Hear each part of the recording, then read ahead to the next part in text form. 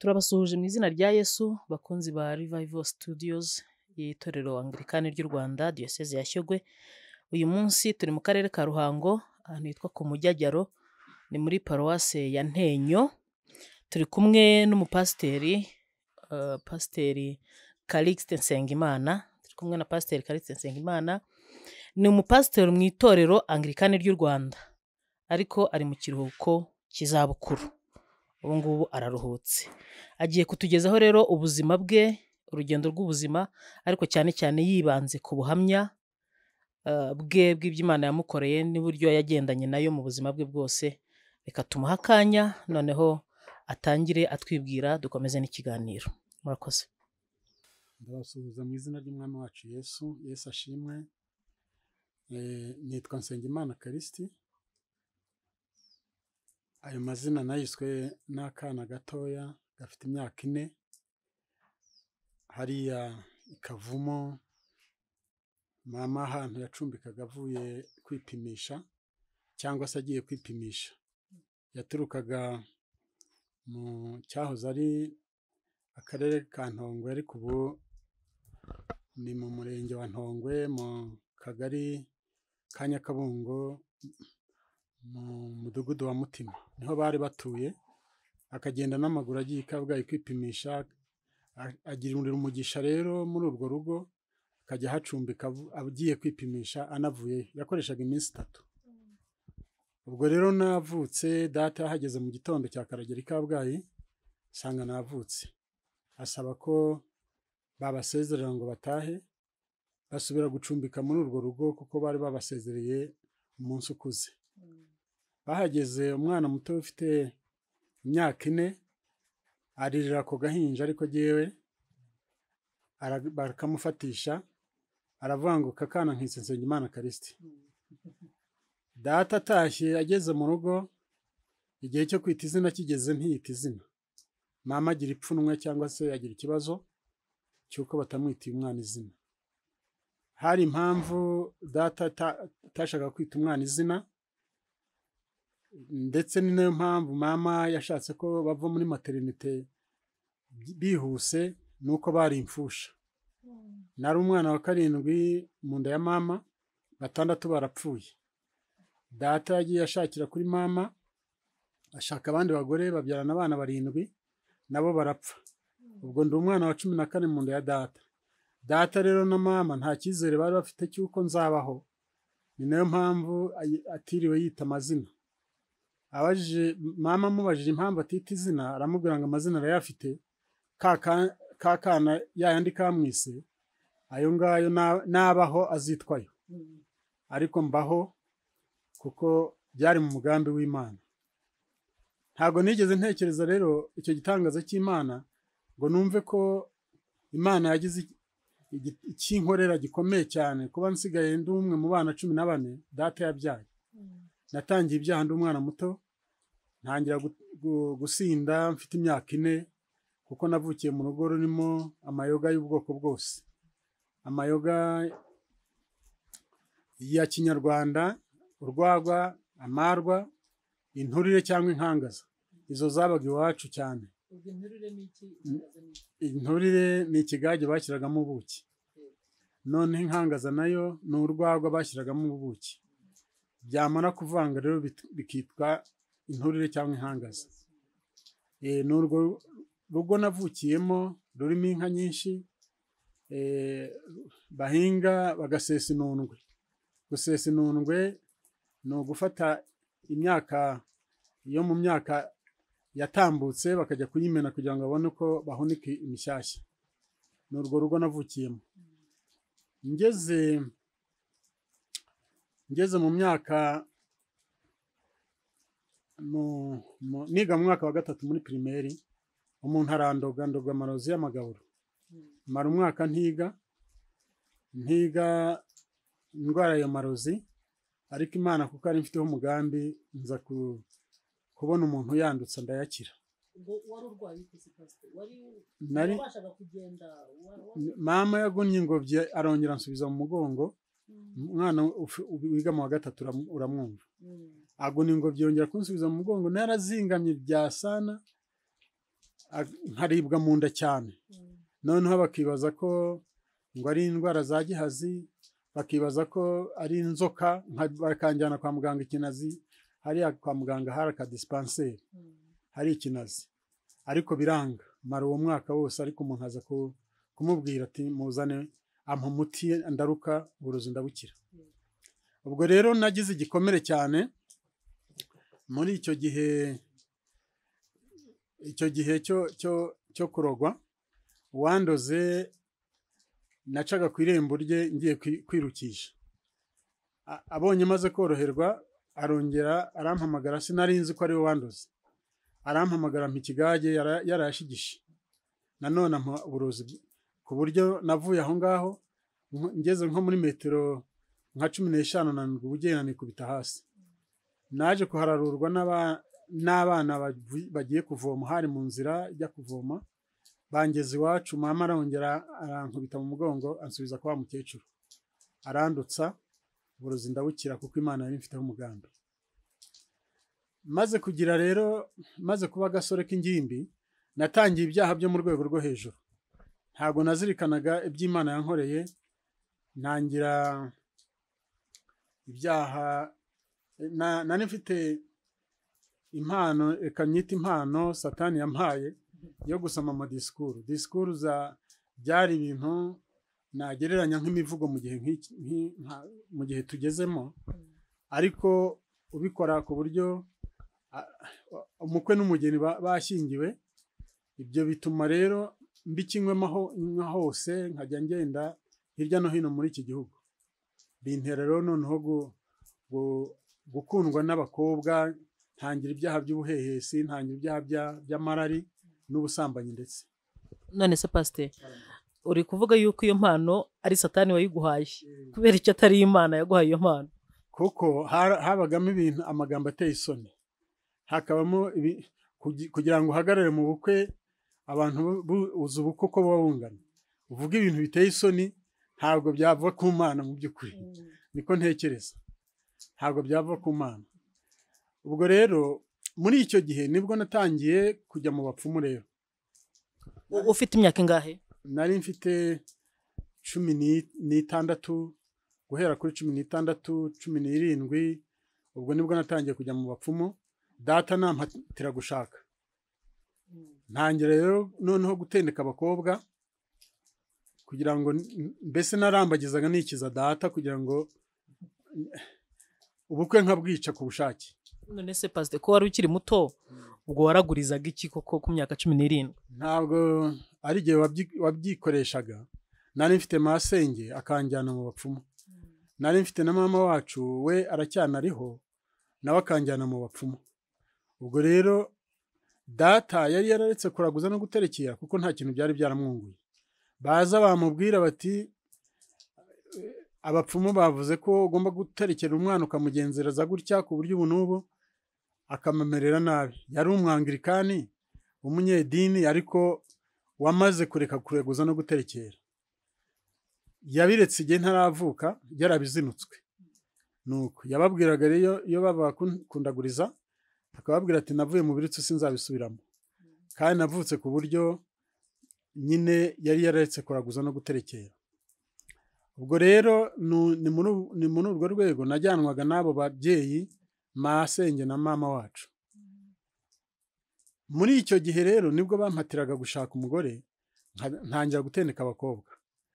Nkatendeka nkarambagiza umukobwa bamundangiye narangiza nkashaka impamvu zose zatuma ubukwe bupfa. Ubwo ndambagiza abakobwa makumyabiri n'umunani. Bwose ubukwe bu- mbwi- mbwica madamu wanjye buriya ni uwa makumyabiri n'icyenda.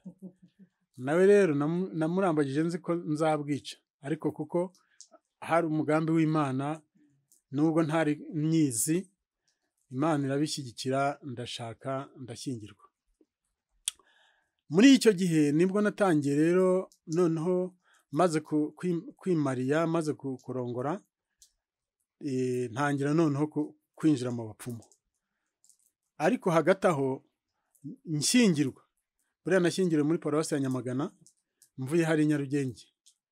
Muri paruwasi ya nyamagana E, i nyarugenge abatahazi bababwira hariho? Hari abashobora kwibwira ko ari nk'i kigali? I nyarugenge ni mu karere ka ruhango mu murenge wa kinazi. Eh, aho ngaho ni ho dufite paruwasi ya nyarugenge ni na yo navukiyemo.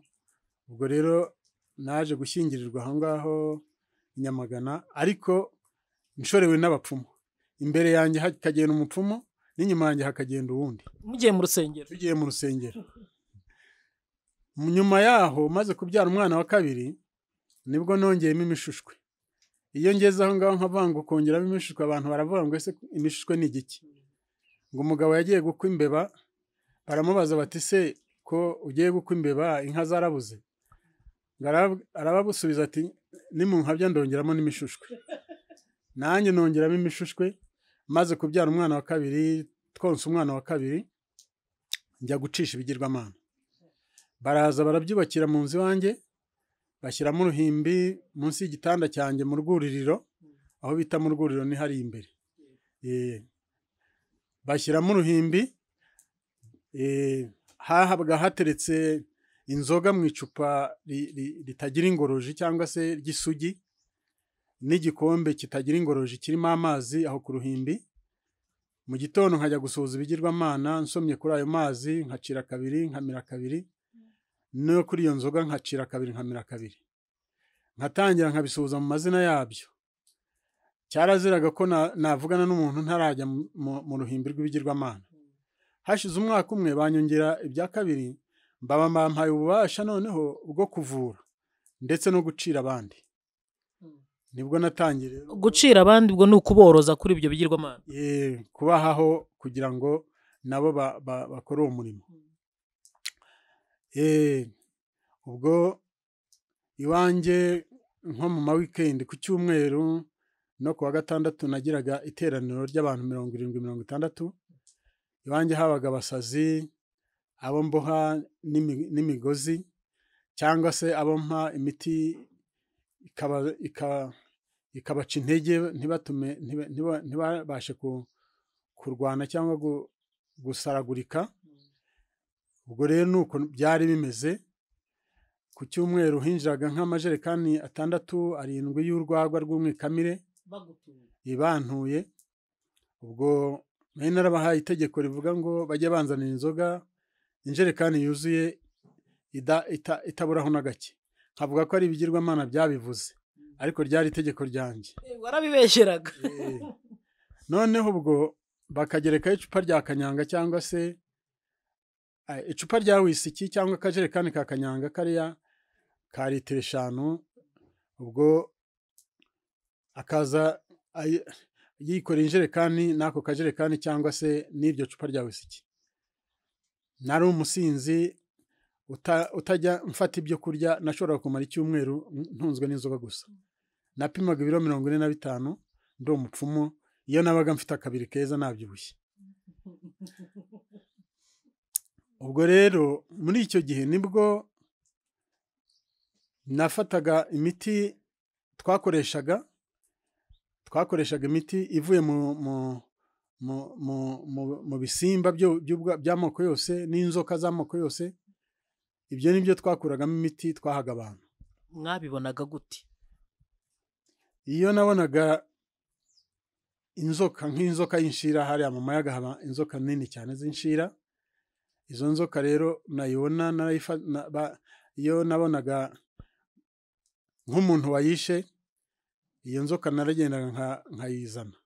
Nkayibabura abarwayi ba- baryamye batabireba. Yabaga nkagenda nkayitunga ku giti nkayimanika mu cyumba cyanjye aho ngaho habaga hari ibigirwamana. Cyari icyumba nyine ryari ibanga ryanjye n'umugore abarwayi ntibamenyaga ibyo ari byo. Twajya gukora iyo miti rero yacu tukirira inzoka nk'urya inyama zisanzwe. Ni aho ngaho mu by'ukuri yesu yansanze ndushye cyane ndemerewe. Pasite wariye inzoka inzoka naziryaga impiri niyo isharira usanga irura ariko in- inzoka y'inshira yo usanga iryoshye cyane ifite ibinure byiza. None se ko bavuga yuko inzoka ifite ubumara kuki zitabicaga ntabwo zashoboraga kutwica kuko twabaga twarabyirasaze mu, maraso. Niwo najyaga guha uwo muti nabaga namunasaze indasago nkamuca indasago nkamutongeramo i- m'iyo- mi- m'ibyo m'ibyo bigirwamana ku buryo naryaho nta kibazo ari bugire. Nuko. Yesu rero burya ni mwiza naho yesu yansanze asanga ndushye cyane ndemerewe. Nuko ampa agakiza ku buntu ubu ngubu ndi umugabo yesu yagiriye ubuntu. Pasite ubwo buzima bwo wararaguraga? Eh, nararaguraga kandi nkavura. Ubwo buzima bwo kuragura no kuvura no gutunga ibigirwamana wabubayemo imyaka ingahe? Eh, natangiye muri mirongo eh, irindwi irindwi na gatanu. Irindwi na gatanu naje ku, kwakira nakiriye agakiza neza neza neza basenyera ibigirwamana iwanjye mu nzu muri mirongo cyenda ni bwo na nasenyera ibigirwamana. Wari ubirambye? Nari mbirambyemo nari nari mfite amabanga yabyo akomeye cyane. Databuja wari waranshiriye yari yarangize uwa kabiri kuri we. Ntabwo watumeneraho amabanga se make muri muri yo? Amabanga nari mfite se? Amabanga ne- ne- amwe ntayamenye none se abenshi baryaga iyo miti nubwo twabaga twarabaciriye ariko batazi aho ikomoka ko ikomoka kuri izo nzoka ko ikomoka kuri ibyo bikoko n'ibiti by'amoko yose. Ni- ni- n'ibi bisiga ubona biguruka twarabikoreshaga. Nta kintu twasigaga muri iyo miti. Ni uko nguko naho yesu yansanze ndushye cyane. Noneho rero tubwire ukuntu mu by'ukuri wahuye na yesu. Kuko ku- kubwira abantu ngo naho yesu yansanze bakabese mwahuriye mu nzira se wagiye mu rusengero ufatirwayo se wenda hari umuhanuzi waje mu rugo iwawe mu by'ukuri yesu mwahuye mute kugira ngo agucakire bene ako kageni? Ntabwo ntabwo burya yesu agira inzira nyinshi acamo kugira ngo agushyikire. Nari mfite impano yo kuririmba. Ndi ndi umusore ndi ako gasore navuze haruguru nari natozaga korari y'urubyiruko. Nari n'umukuru w'urubyiruko mu ikanisa. Noneho ntoza korari rero abantu babona ko mfite impano yo kuririmba. Eh, korari yaje gusenyuka. Ije gusenyuka rero haza kuza umuntu wigaga muri tanzania witwa ni pasiteri silvesitiri yigaga muri tanzania ageze i nyarugenge acidikoni rekeraho amujyana umutima mu ikanisa y'iwacu kuhakorera sitaje ariko yari umunyamasengesho ahasanga urubyiruko arababaza ngo kuki nta korari baha Bara- baramubwira bati ntabwo twabona umuntu twigisha indirimbo nta muntu tuzi wadufasha muri icyo gikorwa. Baramubwira bati umuntu twabonaga ubizi ni umupfumu witwa karisiti ntaheruka rero mu itorero naherukaga nkimariya maze ku- kuva maze kujya mu bigirwamana no gucisha ntabwo nongeye kujya gusenga. Ku cyumweru nabaga ndi kumwe n'abarwayi banjye n'abaje kuraguza ndimo nsinda ntabwo narigeze nsubira mu rusengero kandi wari warabatijwe pasi nari narabatijwe naranakomejwe naranashyingiwe. Naranishingiye aba- aba- abana. Eh, narishingiye abana muri batisimu benshi ndetse. Nuko igihe rero kigeze ubwo kuko imana burya iba ifite inzira izacamo kugira ngo igushyikire. Silivesitiri baramubwira bati keretse umupfumu witwa karisiti angira ku mavi rero yari umunyamasengesho arasenga. Igihe kimwe aza kunsura asanga simpari kumbona byabaga bi- bi- bitoroshye. Yasabaga randevu Eh, iyo umuntu ntazi ko umuntu aza- azaza ntabwo yashoboraga kumbona. Kenshi nabaga ndi mu kabari ubundi nagiye muri ibyo byo ku- byo kuvura mu misozi ntabwo nabaga ndi muhira rero. Aje asanga rero ntabwo mpari ahasanga madamu asanga n'abarwayi bari aho ba- ba- ba- ba- barwariye aho nagiraga abarwayi ba- ba- b'indembe nagiraga abasazi basaragurika. Nuko araza ahageze nuko arambaririza. Umudamu amubwira ko ntahari amaze kumubwira ko ntahari ubwo yarasenze aritahira. Asiga antumyeho. Antumyeho ngo aranshaka kugira ngo nyine tuzaganire. Numvise ko naje gushakwa n'umuntu w'imana ntangira kumutuka. Ibitutsi byinshi. Nuko. Igihe kimwe rero nza kuzamuka ngiye mu muganda umuganda wari ugitangira mu gihugu cy'u rwanda. Nza kubona nari mfite isegereti mu ntoki. Ibyo nari nibagiwe kubibabwira ko nanywaga itabi kurusha abapfuye n'abahagaze. Nanywaga n'urumogi kuko narukoreshaga no mu miti nahingaga na navuzaga nkaruhinga mu masaka y'aba- y'abaturage ntibamenye ko nashyirizamo urumogi nkazarusarura. Ubwo rero duhura mfite isegereti ndimo nywa isegereti. Ndamubona mubonye nari ntaramurabukwa ariko buriya hari imbaraga z'imana zirusha imbaraga za satani cyangwa z'ibigirwamana. Naramubonye numva mugiriye ubwoba kandi ntamuzi. Rya tabi ndarikunja ndarizimya. Ndishyira mu mufuka. Duhuye turaramukanya. Ndamusuhuza uraho turaho. Turagendana tugendana metero nkeya. Noneho ntangira kumubaza ntari ko ni wowe waje kunshaka mu rugo? Arahindukira arandeba mu maso. Nari agasore nyine k'akajene mariye kuko satani yari yaramfashe urumva nashatse nkiri mutoya. Nuko anyitegereje arambwira ngo ni we karisiti ni jyewe. Ntabwo mwari muziranye ntabwo twari tuziranye. Ahita mpobera ahita ashyira igikanu cyanjye ku cye arankomeza cyane. Arira amarira menshi amarira akamanukaho ku matama yanjye.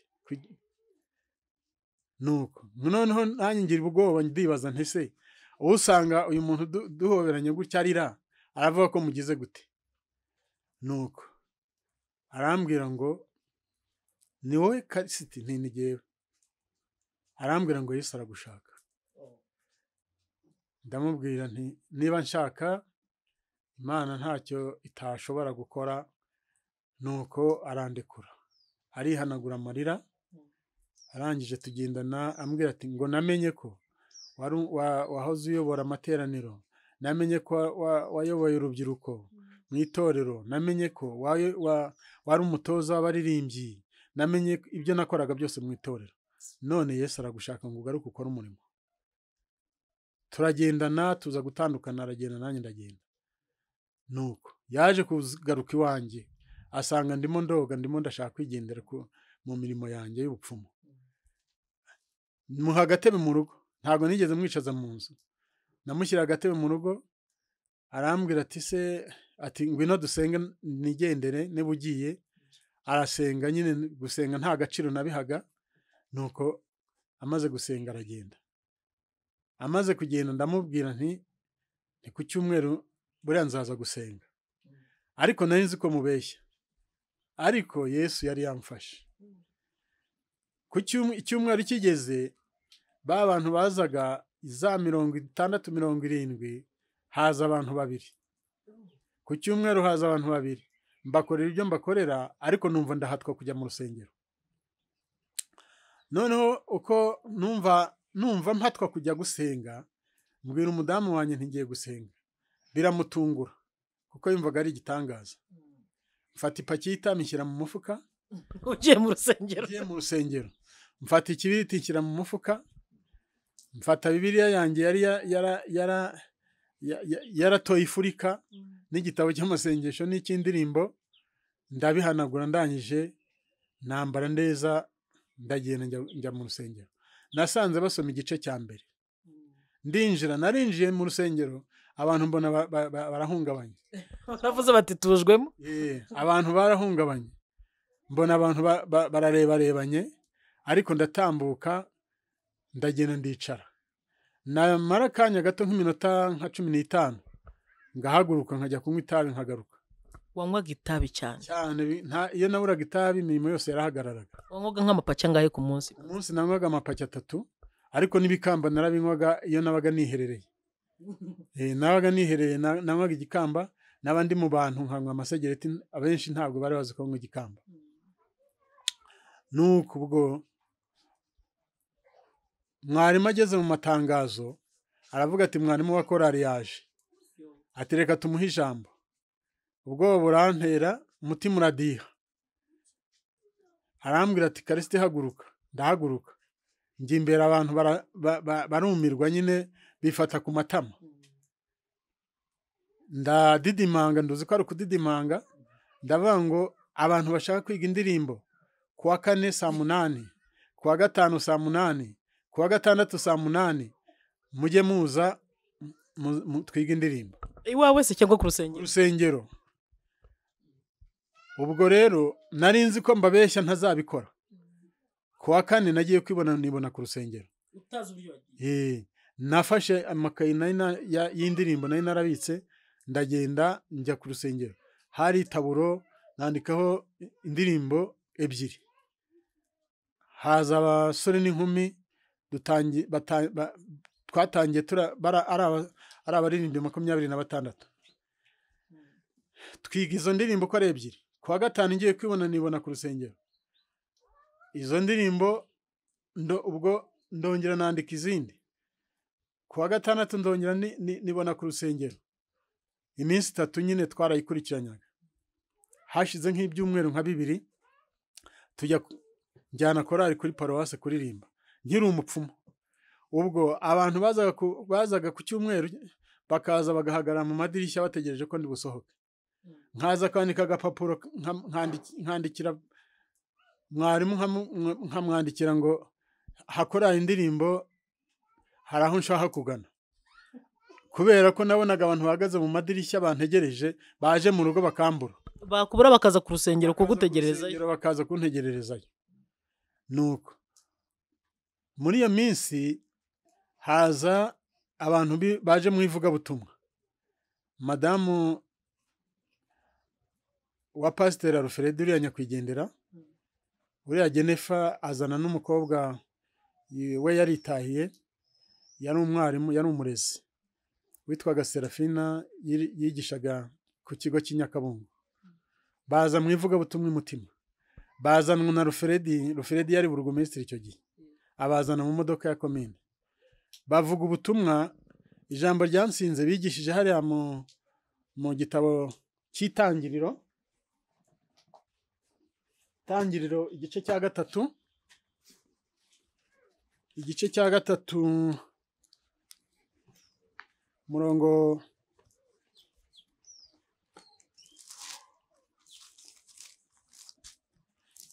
Tangira igice cya gatatu umurongo wa munani. Basoma umurongo wa munani n'uwa cyenda. Ngo bumva imirindi y'uwiteka imana igendagenda muri ya ngobyi mu mafu ya munsi wa mugabo n'umugore we bihisha hagati y'ibiti byo muri iyo ngobyi. Amaso y'uwiteka imana. Uwiteka imana ihamagara uwo mugabo. Iramubaza iti uri he? Arayisubiza ati numvise imirindi yawe. Muri iyi ngobyi ntinyishwa nuko nambaye ubusa ndihisha babwiriza aho hantu eh, ngo wa mugabo we uri uri mu businzi? Uri mu busambanyi? Ubu kandi ubutumwa bwaravugwaga nkavuga ngo mwarimu buriya ni we bababwiye ibyanjye. Ariko mu by'ukuri ni umwuka w'imana wabaga abivuga ntabwo ari mwarimu. Nuko ubwoba burantera cyane ariko nari maze iminsi mfite ikibazo nibaza ngo mana ushobora kumbabarira? Ibyaha byanjye bibi kandi byinshi wabibabarira? Wambabarira ibyaha byanjye nanjye? Ariko muri iyo minsi nari naryamye numva ijwi rimbwira ngo ibyaha byawe byababarirwa biyigishije kandi ba- bavuze ubwo butumwa nibaza ahantu ndi. Nkas- nkasubiza amaso inyuma nkareba ibigirwamana biri iwanjye. Nkareba icyo kibindi na yo mfite ikibindi najyaga ntaramo umwikamire nabikagamo ibyo byi- byitwaga imihigo ibyo biyoka n'ibindi byose. Natekereza ibyo bintu biri mu- muri icyo kibindi natekereza uruhimbi natekereza ibintu byose mfite nkavuga ngo koko imana ishobora kumbabarira. Ese pasite wabiterwaga icyo kibazo? Wagiterwaga no kumva ushaka cyane kubabarirwa cyangwa wagiterwaga no kumva ugishaka kuba uri kumwe n'ibyo bintu byawe. Numvaga nshaka kubabarirwa. Numvaga narazinutswe nakubwiye ngo uwo mugabo akizi iwanjye nabona yesu yari yamfashe ariko ntabizi. Eh, numvaga nageze aho ngaho abo bantu bazaga ku- kuraguza no kwivuza bakaza ku ku rusengero bagahagarara ku madirishya nari naramaze kubabwira ngo ntimuzagaruke iwanjye. Ubwo ntangira no kwitoza noneho no kutanywa amayoga. Ntangira kwitoza kutanywa amayoga. Byarakoroheye? Ntago nta ku- kureka inzoga byaranyoroheye. Ikintu cyang- cyangoye cyane kikandushya ni itabi. Kureka itabi byarangoye ariko ku mbaraga z'imana ndarireka. Imbaraga z'imana za- zaramfashe ndarireka. Eh, ubwo rero uwo munsi buriya njya mbivuga cyane Jennifer buriya ni, ni, mama wo mu mwuka. Ni wambyaje ubutumwa bwiza. Uwo munsi bavuga ubutumwa nahagurukanye na, na, burugumesitiri. Baradusengera. Ariko kuvuga ukuri nari maramaje kuko nari mfite agahinda kenshi k'ibyaha nari mfite. Nari maramaje. Uwo munsi narahagurutse baransengera. Ba baririmbyi na- natozaga harimo n'abarokore. Ariko bafite agahinda kenshi. Ko ba- ba- ba- barimo kwigishwa n'umu- n'umupfumu. Baransengeraga rero. Bategereza ko natura ibyaha uwo munsi. Ariko icyo gihe bansengera mpagurutse nabwiye imana ngo mana niba uri imana ifite imbaraga nkiza itabi niba uri imana ifite imbaraga nkurira ibigirwamana mu nzu. Nzagukorera by'iteka ngiye icyifuzo nahaye imana mpagurutse barimo kunsengera. Bidatinze rwose mu minsi mike cyane. Numvise naguze amasegereti yari cumi n'abiri nyagura ku mugoroba. Amasegereti cumi n'abiri cyangwa amapaki cumi n'abiri? Aya masegereti cumi n'abiri. Eh, ndaza imbere y'igitanda cyanjye habaga akameza kariho ikibiriti nkarambikaho iryo tabi. Bwacyaga nyoye itabi kane mu ijoro. Noneho ndaryama no ntararyama. Ntongeza isegereti. Kandi ubwo nayikongeje maze gusenga. Nari natangiye kwitoza gusenga. Nkongeje isegereti numva ijwi rimbwire ngo jugunye iryo tabi. Nararijugunye. Hasi. Ijwi ryampindishije umushyitsi rintera ubwoba bwinshi. Mpita ndita hasi ndarikandagira ndarisiribanga noneho mpita mfata za zindi zisigaye cumi n'imwe ndazivungunyura ndazivungunyura ndazijugunya. Nuko. Ndongera mbwira imana ngo mana mbabarira uhereye none nagusabye ko umfasha nkareka itabi uhereye none ndeka itabi. Nararyamye ariko nkangutse kuri ya saha najyaga ndinyweraho nda ndashiguka njya gukora kuri ya meza. Nsanga nta kintu kiriho hari ikibiriti gusa. Nibuka ko nariretse. Mbura ibitotsi mbura amahoro. Ariko yesu yari yamfashe. Igitondo kiratangaza.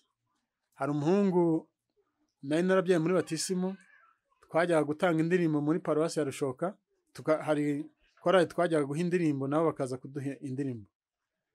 Aza ngo tujye tujyeyo aranza arambwira ngo "Nta- gatabi. Nawe yararimbaga kandi anywa itabi. "Ari- arimo ndamubwira nti itabi nariretse ati ubu ntuzongera kunywa itabi ntabwo nzongera kunywa itabi. Njyewe ndashaka kwakira agakiza ndashaka gukorera imana.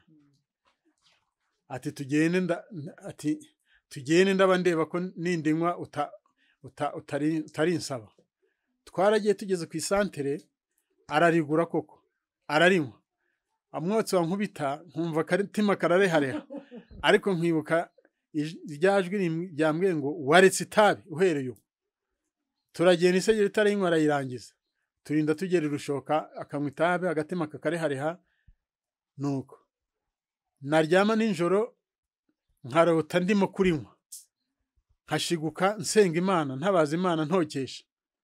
Itabi ryarangoye cyane kuri- kurireka wakangukaga urimo utokesha Eh, ntokesha. Nuko ubwo ikitabi kiba kivuyeho. Noneho rero ndatangira ndavuga ngo mana se ko nagusabye ko nkiza itabi ukari nkiza ibigirwamana bizava mu nzu iwanjye gute?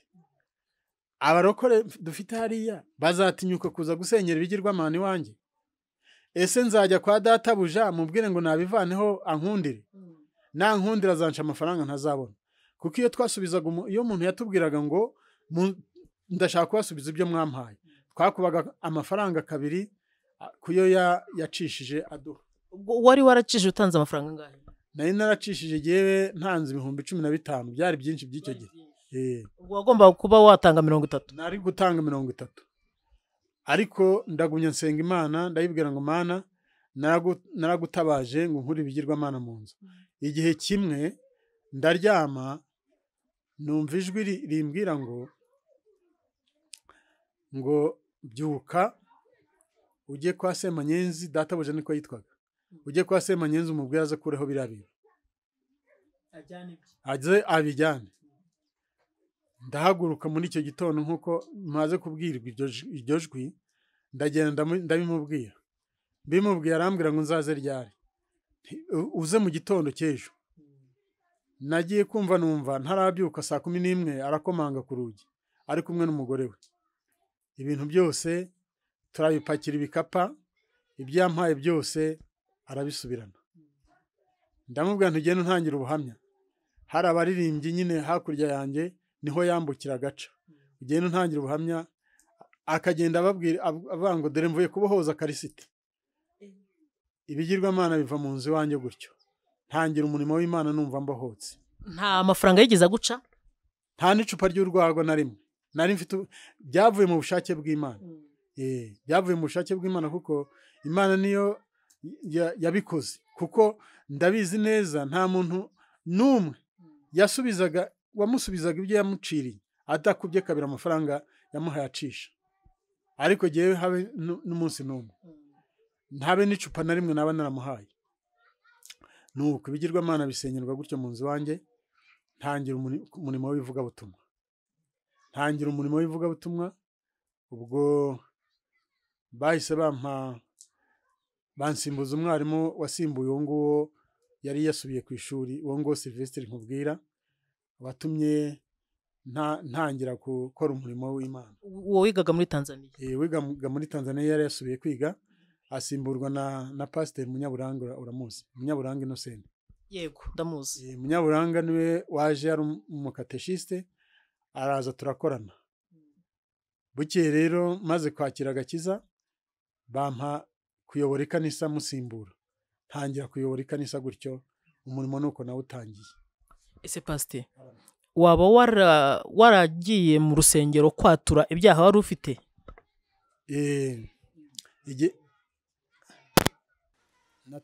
Nagiye mu rusengero ndatura. Nabanje kwaturira abaririmbyi na- natozaga cyangwa nari nyoboye. Ku munsi wa repetisiyo ndabaturira ibyaha ndihana baransengera ku cyumweru ndatura noneho ibyaha ku mugaragaro. Eh, rubanda rwose ruhari rubyumva. Noneho abantu bakibaza ngo ese koko birashoboka ko yabireka? Ariko mfite eh, isomo rigena n'ubuhamya bwanjye. Pawulo mu rwandiko pawulo yandikiye abafilipi igice cya gatatu guhera ku murongo wacyo wa karindwi. Abafilipi igice cya gatatu.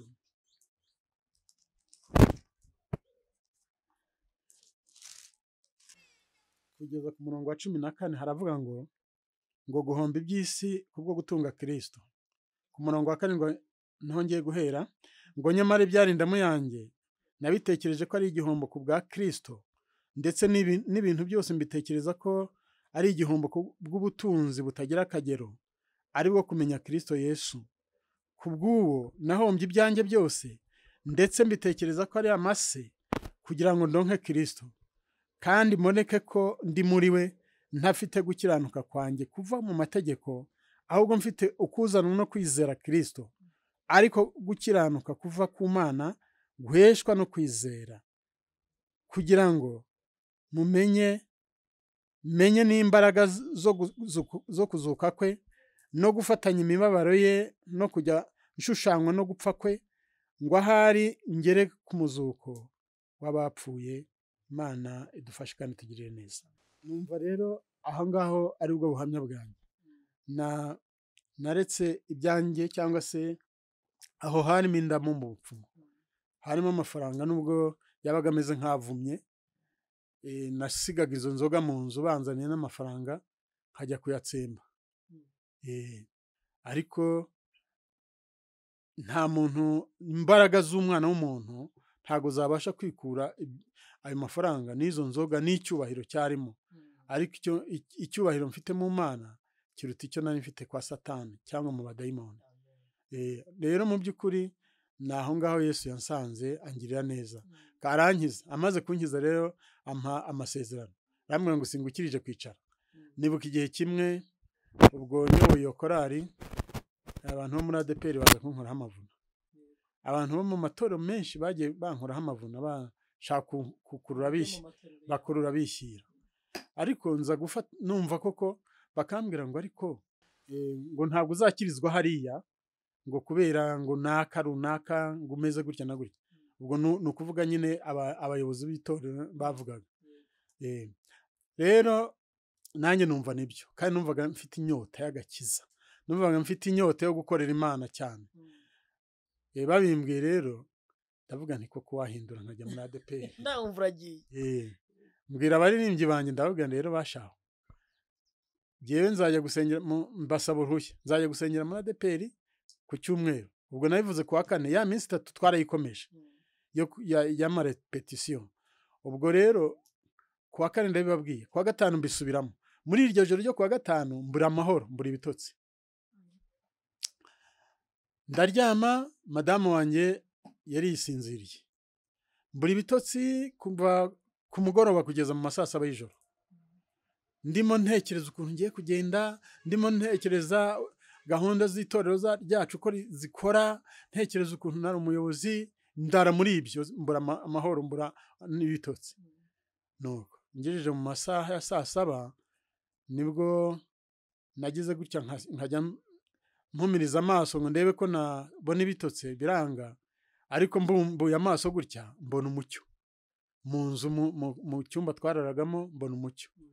Muri wa mucyo hajemo umuntu wambaye ikanzu nziza ikanzu y'umweru. Yari umuzungu cyangwa yari umwirabura? Nabonaga asa n'umu- n'umuzungu nuko aza ansanga atera intambwe nyinshi. Ansanga ansanga. Arampamagara mu izina. Ndamwitaba. Arambwira ngo witinye ibyo bagutinyisha. Ambwiye iryo jambo numva nakosheje numva nakoze ibyaha. Ndatangiye ndasakuza cyane nsenga ngo mbabarira mana mbabarira mana. Umudamu ara- arakanguka. Ahita amubwira ngo ariko ubu yari yampinduye umusazi rero. Kuko yamaze imyaka umunani nkijijwe adakijijwe.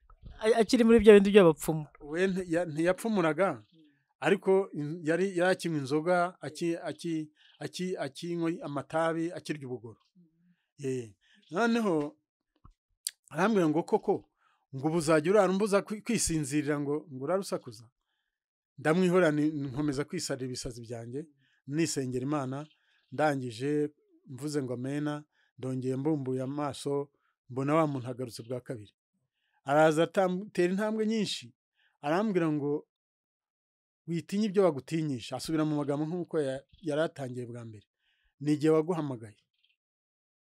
Ni igihe waguhamagaye kandi naguhamagare kugira ngo nkorere umurimo hariya. Atunga urutoki gutya. Atunze urutoki mbona mu rusengero umutima mbona ba baririmbyi. Mbona abakirisitu umuntu wese intebe yicaramo. Iyo shusho mpita nyibona y'abantu bose mu rusengero rw'umutima. Ngo hariya ni ho naguhamagariye kugira ngo nkorere umurimo. Ngo none rero nza- nza- nza- nzakugira umutambyi mukuru. Nzakwambika kora nuko. Arangije arigendera. Nsigara ntekereza ibyo bintu. Ubu narotaga ni inzozi nari ariko nyuma ni bwo naje gusobanukirwa ko umwuka cyangwa se marayika w'umwami imana yangendereye. Ubwo hari kuwa gatanu muri iryo joro kuwa gatandatu nsubira muri repetisiyo noneho. Mfukama imbere y'abaririmbyi. Mbasaba imbabazi. Ndabwira ngo nari nabataye. Buriya nari na- na- na- nahinduye ariko none ndagarutse ngo dukorane umurimo. Mumbabarire narababeshye. Baransengera bamwe bararira.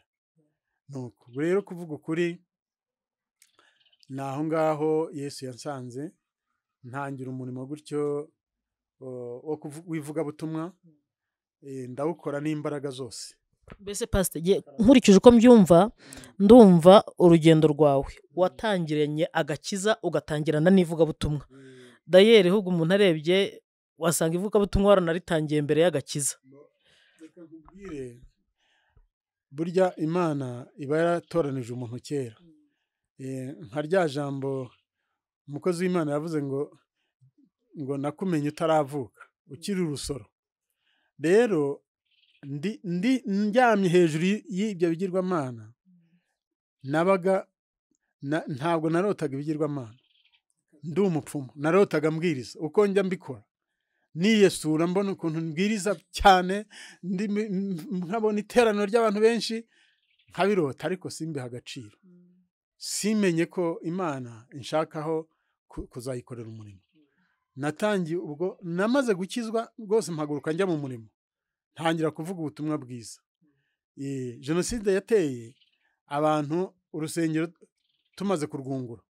Abantu ba ari abo napfumuriraga njya kubabwira ubutumwa bakaza. Bakaza. Nuko kugeza ubwo jenoside yateye urusengero tumaze kurwungura abantu batakibona aho bakwirwa.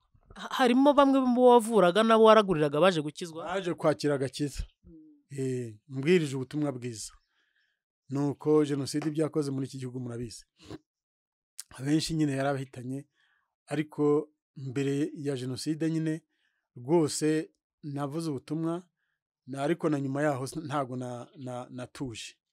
Ngira ngo hari twigeze kubikomozaho wowe. Rero mu by'ukuri ni aho ngaho yesu yansanze ah, angira uwo ndi we ampa agakiza kandi arambwira ngo singukirije kwicara eh, ni bwo yampaye uyu murimo wa gishumba. Waje kuba pasiteri uti? Nabaye umukateshiste eh, noneho nkora umurimo wanjye neza. Nayoboraga ivugabutumwa ry'ubucidikoni nayoboye amakorari mu mu bucidikoni no mu maparuwa no muri paruwase. Ha- hari abantu bari bashobora kuba bakureba ariko batazi ubucidikoni icyo ari cyo? Wa- wabasobanurira ubucidikoni ubucidikoni ni ni amaparuwase ni amaparuwase ayobowe n'umu- n'umuntu umwe mu bapasiteri ba- bayagize. Ye, noneho ubwo bucidikoni rero eh, hakaba ubucidikoni runaka bukaba buyobowe nu- na cidikoni runaka ayoboye abapasiteri bari muri ayo maparuwase yo muri ako gace k'ubucidikoni. Wenda ubanza umuntu abigereranyije ni- n'inzego za leta ariho abantu babyumva neza. Paruwasi tuyigereranye n'umurenge ubucidikoni buba akarere noneho diyoseze ikaba intara. Muri uwo- mujyo byakumvikana? Byakumvikana byajyana. Eh, nuko. Ubwo rero kuba pasiteri musenyeri yajyaga aza kuri paruwase yacu. Ngira ngo hari n'abapasiteri bavugaga bantangiraga n'ubuhamya n'ibikorwa nakoraga cyangwa se kwitangira umurimo. Eh, aje kuri yaza kuri paruwase ndibuka ko yabwiye pasiteri wanjye aramubwira ati ndashaka ko nzajya nsangira n'uriya mu- n'uriya mwarimu uriya mukateshiste noneho tugasangira ku meza hari yaranyitegerezaga. Igihe kimwe rero ba- banjyana muri stage. Bamvana ku ikanisa na- iyo ngiyo na- nayoboye kandi navukiyeho. Ni ikanisa nakundaga cyane ariko nyuma yaho anjyana kuri paruwasi gukorana na pasiteri. Ariko ntazi ko ndi muri stage. Paruwasi ubwo yari nyarugenge? Yari nyarugenge. Mba muri stage nkora na pasiteri rosemary uriya w'umudamu. Turakorana umurimo aza kwimuka nkomeza gukorana n'abandi. Nyuma rero eh, nyuma mu mwaka w'ibihumbi bibiri ni bwo bambwiye ngo jya kwiga icyangugu. Mba ndwaje umwana. Ndwaza umwana ni we duherutse ku ibere umwana yari arwaye cyane. Baradutumira kuri paruwasi kuri diyoseze hariya tujyayo. Njyana na pasiteri mariko na pasiteri na cidikoni matiyasi eh, na pasiteri ntaganda. Tuhahurira turi abantu bane batwohereza kujya kwiga icyangugu. Ndababwira nti ngewe ndwaje umwana nimba az- azakira simbizi yari arwaye cyane bikomeye. Barambwira bati turagusengera. Naratashye koko umwana araremba. Ubwo twagiye ari ku cyumweru dusengera ishyogwe batubwira ko tugomba kugenda ku wa gatatu. Gusiba ku wa mbere twite- twitegura ku wa mbere no ku wa kabiri ku wa gatatu tukajya i cyangugu. Bata abandi amasomo bayageze kure mwihute mugende. Ubwo byari ibyo kwigira umurimo wa gipasitori ubwo ka- kuwa mbere bwakeye umwana yarembye. Kuwa kabiri ubwo tumu- tumushyira mu bitaro. Kuwa gatatu abandi bagenda umwana ari indembe. Ubwo rero ku kuwa gatanu umwana arapfa. Abandi baragiye. Nuko nyuma y'urupfu rw'umwana nza kubaza se njye kwiga. Ariko mbanza kubaza umudamu. Madamu ko nyine ko yari anarwaye amashereka bitewe n'uko umwana yonkaga yari umwana ufite imyaka itatu. Ndamubaza se madamu nshobora kujya kwiga? Aranyemerera ati ngaho genda. Ubwo ndabaza ku- kuri diyoseze barambwira bati ngaho genda agahanga ni akawe. Eh, ubwo nasanze abandi bize iminsi cumi n'itanu ni myinshi. Ubwo rero ndagenda ngezeyo ni n'icyo kibazo cy'urupfu ndiga ariko Yesu abana nanjye. Abana nanjye ntabwo nazanye amanota mabi. Nyuma rero tuvuye i cyangugu ni bwo bashatse ko njya muri paruwase ya rushoka hanyuma sinzi impamvu yatumye batanjyanayo. Ariko bari inama ya- y'abapasiteri ya diyoseze icyo gihe yari yanyoherejeyo kujya gutangirayo umurimo. Mu gihe gito rero babanjyanye ku gasharu eh, na maze y'amezi atandatu ku gasharu bahita bandobanurira umurimo wa gishumba mba umudiyakoni namaze umwaka umwe ku gasharu banyimurira hano muri ntenyo. Rero ku ntenyo hano ni ho narobanuriwe umurimo wa gipasitori. Nuko nabaye pasitori ubwo madamu yari yarakijijwe muri ibyo bihe? Yari yarakijijwe. Ntabwo aba yaranyemereye guhaguruka ngo njye mu murimo adakijijwe. Eh, nyuma rero navuye ku ntenyo njya njya kuyobora ubucidikoni bwa runda nabaye umucidikoni wa runda imyaka itandatu. Nyoboye na paruwasi ya kiyonza. Eh, mvayo rero bampa mitasiyo nza muri paruwasi yatambwe hano hepfo iyo niyo nasabiyemo ikiruhuko cy'izabukuru. Wakoze mu maparuwasi menshi kandi mu gihe gito? Gi- eh, ariko ntenyo narahatinze. Nahamaze imyaka umunani n'amezi atanu. Ubwo rero narahatinze cyane kuko nahatangije kiriya kigo cy'amashuri n'igihe wa- wa- wasabye ariya mashuri ndayatangiza. Nahavuye abana banjye natangije umwaka wa mbere bamaze gukora ikizamini cya leta.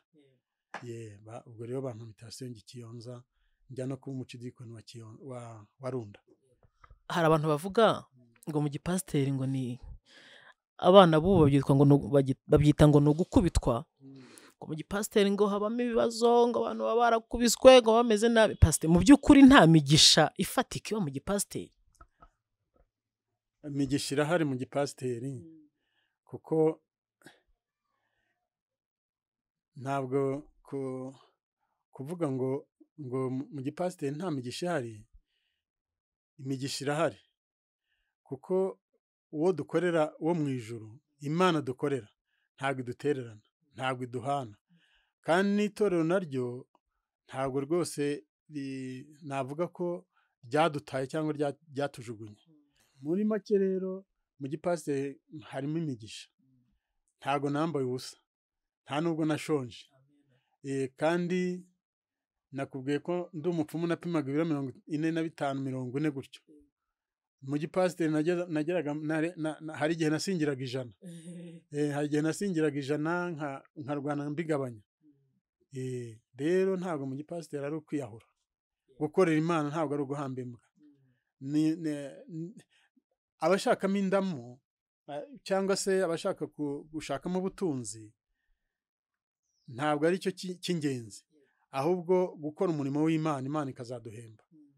Eh, numva rero mu by'ukuri eh, nakubwira ko kuba umupasiteri harimo imigisha. Eh, dufite indirimbo ivuga ngo bari iyo migisha yose. Eh, bari iyo migisha yose. Mfite abahungu batatu n'abakobwa bane. Mu mbyaro twabyaye na madamu twabyaye imbyaro cumi zirimo abana cumi n'umwe. Uwitwa karisiti w'umuhanzi mujya mwumva cyangwa se sinzi mu- mwaramubonye. Ayo bavuga ni umuhungu wawe? Ni umuhungu wanjye. Yavukanye n'undi mwana w'umukobwa. Ubwo rero mu mbyaro cumi dufite abana cumi n'umwe. Rero bane barasinziriye hariho barindwi. Kugeza ubu rero nshima imana cyane ko abana banjye ubu bose ni abashoferi batwara imodoka. Eh, kandi mbona nta kintu bitwaye. Mbona nta kintu bitwaye mu by'ukuri ab'abakobwa nabo bara- barashatse ubu ngubu abana tubana n'utu twuzukuru mwabonye hano. Twonyine abandi bose barashatse. Bivuga rero ngo mbona nta kimana itankoreye kuko iyo ni imigisha niba imana abana banjye bubatse bakaba bafite imirimo ibatunze numva mbishimira imana cyane. Rero nanjye ubwanjye nagiye muri iki gipasiteri mfite inka ndi umutunzi w'inka. Eh, kuko nagiye ku gasharu eh, mfite amajigija y'inka ageze ku nari mfite amajigi e- enye. Mfite inyana z'amashashi ebyiri n'ikimasa urumva mu by'ukuri izo nka ntizari nkeya. Eh, kandi niko zabyaraga. Nta nka nigeze mfusha. Ndi muri uyu murimo. Ntazigurishaga zikamfasha zikamfasha muri uyu murimo. Eh, mvuka hariya nyine hafi ya Nyarugenge urabyumva umutima hariya ku ivuko ryanjye rero aho ngaho mvuka nari nahasize amazu nari naranayasannye ndi muri iki gipasiteri biba ngombwa ko ngomba gutura aha- ahangaha nyine ku muhanda hagaragara mu bushake bw'imana no mu bushake bwa, bwa, bwa famiye yanjye abana banjye bifuzaga ko nshobora ku, gutura hafi y'umuhanda. Aho bashobora kumbona kuko hafi y'amajyambere. Oya batuye bari muri aka gace mu karere ka nyanza ni ho batuye. Rero kujya mu mayaga byarabagoraga ariko no mu bushake bw'imana imana igashaka ko ntura n'inaha ngaha. Eh, ubwo rero numva ntacyo nshinja imana mu murimo wa gipasitoro nta- ntaho ibibazo bitaba n'aha- n'ahandi hose birahari. Eh, ntaho bitaba ariko harimo imigisha. Hari ababireba bakabona ngo nyine turi ingorwa. Impamvu ni iyi intebe nk'iyi ngiyi urayimukana ukagezaho inkwi yavunaguritse. Ukaza ukazongera ugasana. Igitanda ukakijyana eh, ariko mu by'ukuri ntabwo nubwo bimeze gutyo harimo imigisha. Eh, ntabwo imana yibagirwa abayikoreye. Mm. pasite ubuhamya bwawe wakoze ibyaha byinshi ukiri muto ariko nanone ukizwa ukiri muto ukorera imana uri muto. Ndifuza yuko dusatira umusozo wagira isomo runaka uha abakiri bato ubu ngubu urubyiruko mu byerekeranye no gukorera imana no kuva mu byaha. Pawulo yandikiye timoteyo mu rwandiko rwe rwa kabiri reka ndebe ntaza kwibeshya. Timote. Imana ishaka ko abantu bose bakizwa bakamenya ukuri.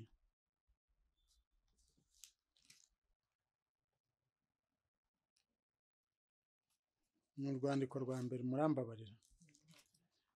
Igice cya kabiri. Umurongo wa kane. Ariko reka mpere ku murongo wa mbere. Ngo irya mbere ya byose ndaguhugurira kwingingira abantu bose no kubasengera no kubasabira no kubashimira ariko cyane cyane abami n'abatware bose kugira ngo duhore mu mahoro tutabona ibyago. Twubaha imana kandi twitonda rwose. Ibyo ni byo byiza byemerwa imbere y'imana umukiza wacu. Ku murongo wa kane ni ho nshaka kubwira abantu. Ishaka ko abantu bose bakizwa bakamenya ukuri. Kuko hariho imana imwe kandi hariho umuhuza umwe w'imana n'abantu. Ni nawe ni nawe eh, w'abantu nawe ni umuntu ari we yesu kirisito witangiye kuba inshungu ya bose. Ubu rero ni we abantu bose bakwiye kurangamira. Nubwo uvuze ko natangiye gukora imana nkiri muto nagize ipfunwe. Ipfunwe nagize ni Nu- iyo ntangira muri icyo gihe ndi umusore.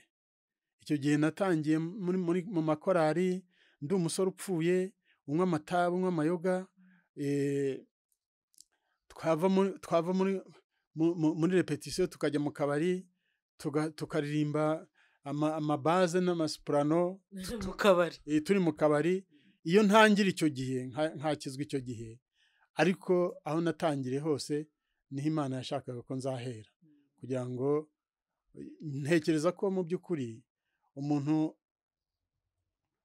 nta muntu ushobora kugira urwi- urwitwazo na rumwe yakwitwaza kuko niba ari amayoga amayoga akomeye narayanyoye.